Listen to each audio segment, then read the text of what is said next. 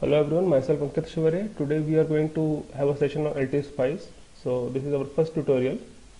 In this tutorial we are going to see the different options that are available in LT Spice, the tools control panel options. Then we are going to see what are the different uh, uh, windows that are available in LT Spice.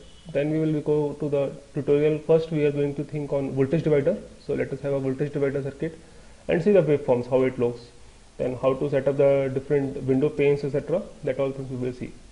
Okay? So first uh, we need to install LT Spice S511 as per the tutorial as per the link I have sent you okay? So you try to install it. If you face any issues then revert back.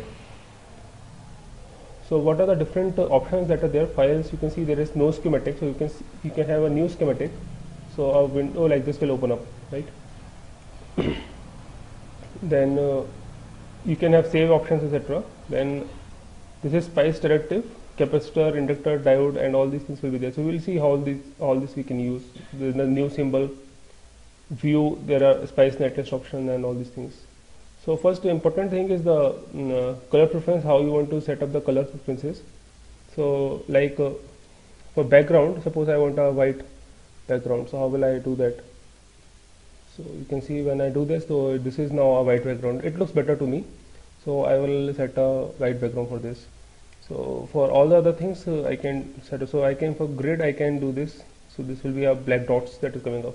Probably in the video you will not be able to see but this is the black dots that will come up.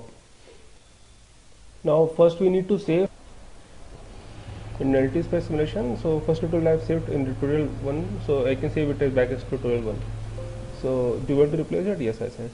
And I can close this one yeah so this is how I can save the tutorials. Now in tools control panels there are a lot of options.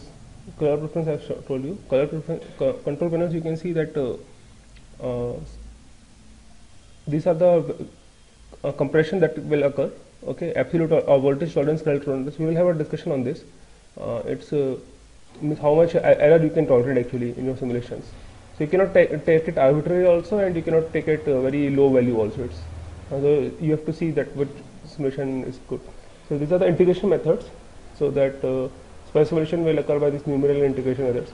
So this is trapezoidal, modified trap, gear. Three methods are available. There are more options available with the higher, uh, with the like cadence, uh, spectre. Lot of options are available, right? These are the G min, absolute tolerance, relative tolerance, CHG tolerance, TR tolerance, all these tolerance we will discuss later. Okay, so let us start with this and we will have a discussion on this further. So first we will need to draw a voltage divider. Uh, so for that we need two resistances and a voltage source, correct? So let us have a voltage source. We have go to the component section and you go to the voltage option. Okay, so you place here. Then you need two resistance as well. So you need a resistor. So you can have this so now you can have two keys. That's control R and control K. Control R is for rotation and control K is for mirror. Okay. So control R we can we can do like this. So this is the two resistance you can draw. So these are the two resistance I've drawn. So always we need a ground for all these things. So we can have this ground and connect here so space bar is fit the screen. Now we can draw the wires and connect all the components.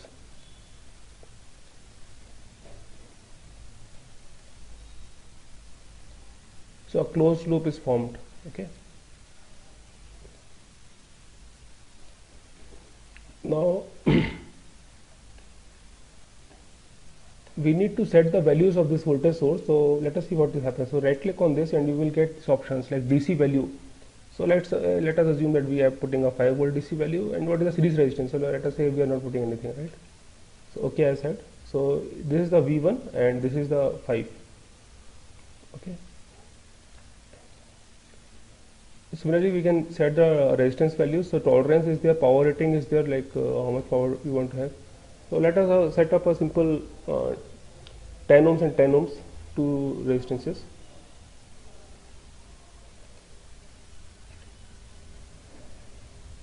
Okay. and this is how your circuit will look finally. Now we need to do the simulation of that. So we need to set up the operating point. So spice directive will come. So we can say that yeah we need to have a DC operating point. So we put dot op and uh, we just place it here in this window so the spice will understand now here that uh, uh, operating point needs to be calculated dot op okay? Now we need to simulate the simulation. So when we run here so see a window will pop up. So these are the different nets that will show. So like this VN001 so we don't know exactly what is VN001 but we can think like this is the voltage source. So this must be VN001 right?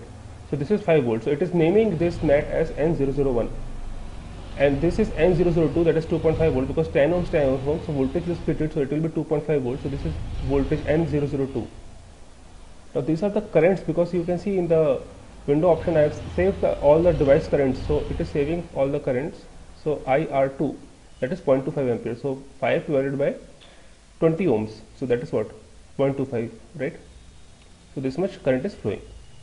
Now you can see that uh, a current is shown negative here as well so what does this signify is the current always it sees from the positive to the negative so means current is always from the positive to the negative in spice simulations. So here current is going from the positive to the negative end. So inside this current is going from positive to negative, but means it should be like this way.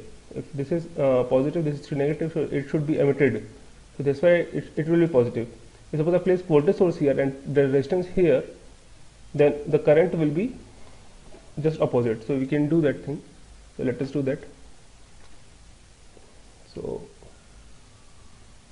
I just cut up this net, this net, this net, this net and just sweep it. So we can move that. So this is the move option. So you can just place it here. You can move this voltage source to here. Okay, so it is a little bit fast. Let us it here. Okay, and we need to again cut it. Cut these nets, floating nets and connect it back wires. So let us see what happens.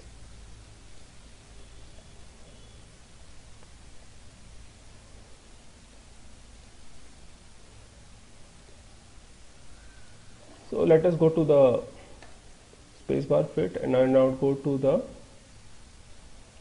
spice netlist we can see the spice netlist so this is the spice netlist so this is V1 voltage source between two nets N002 and 0 that is ground and that voltage is 5 volt. R1 resistance between nets N002 and 001 the value is 10 ohms.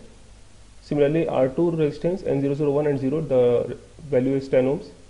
We are calculating the operating point dot OP and always the spice netlist ends with dot end okay. So now again we can run the simulation. Yeah so now you see the current has changed to positive in the resistance values because the current it was swinging from the positive to the negative side right? So this was now the current is going in this direction. Okay? So hope hope it makes some sense right? And the voltage uh, current uh, through the uh, voltage source is negative now. Okay?